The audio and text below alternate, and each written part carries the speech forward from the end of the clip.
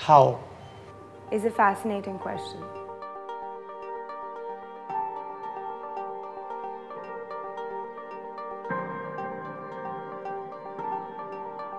There are more things in this universe than can be understood using the tools and techniques of a single discipline.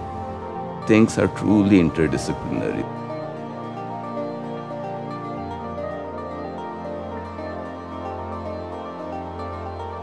We're living in a time of transition.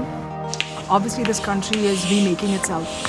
And if there's anything that's going to help that progress, it is a certain radical change with education at the college level. This place gives a student the space to learn unrestricted by the boundary of the curriculum. Learning here is interdisciplinary and you are learning through different experiences in the program.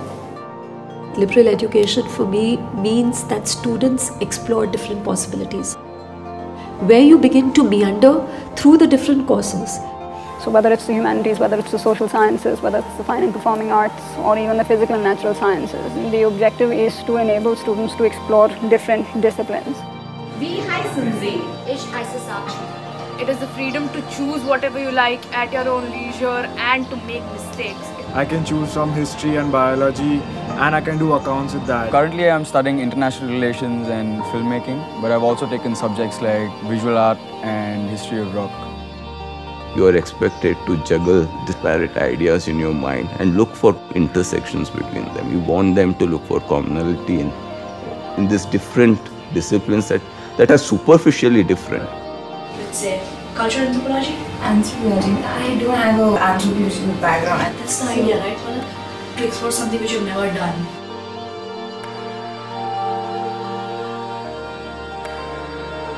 The only way to do it is through offering people choices and asking them to sort of combine, in some sense, their interests.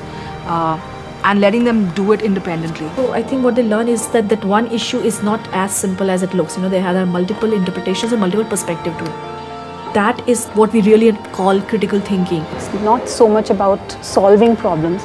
It's more about understanding what does the problem represent. What is a certain concept? Why are we doing it at all?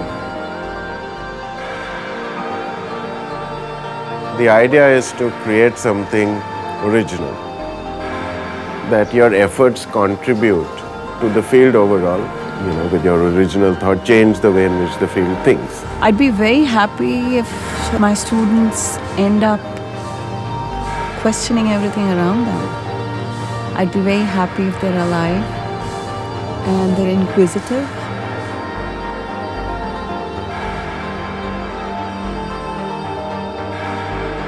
The curiosity which a younger person has is much greater. So when you start allowing them